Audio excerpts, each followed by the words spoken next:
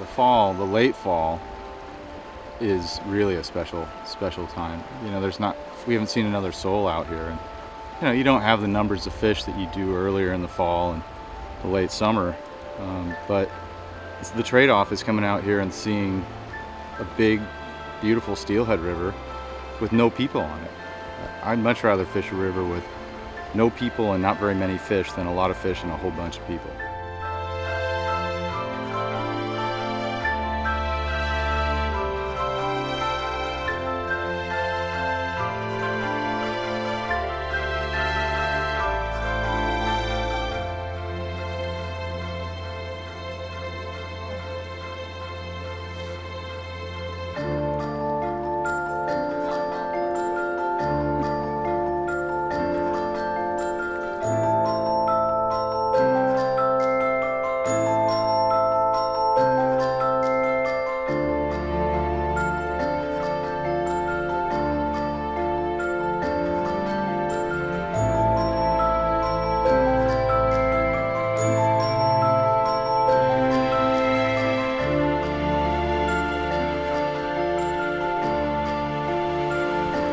I was marching down the east bank, hung up twice, lost a fly.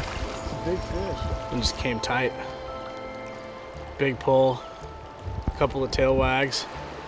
We got got the fish to hand and just exploded on the on the line and That's too bad. off she goes.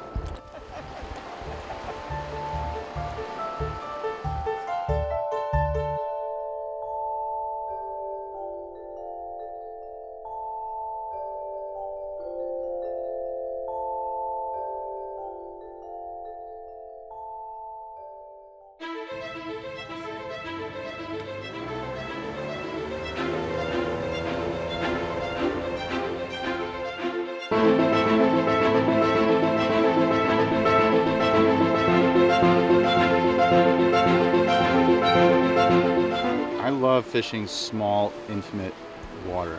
You know, you jump into these big runs that are 200 yards long, you can spend a lot of time just kind of wasting time. You kick that fly out of, out of tension in- into your mend, you feel it basically just sink down, you feel your whole Skagit head just sink.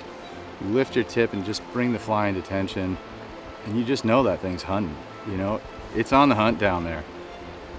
And, sometimes, you know, you can feel it. You can feel when you're going to get a grab. You can feel it when the fish are around. And this this spot, I felt pretty good about coming into, but oh man, the grab was amazing. I mean, it was such a good eat.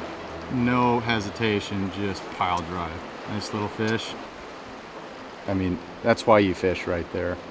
It's just the, the eat. That's the whole deal.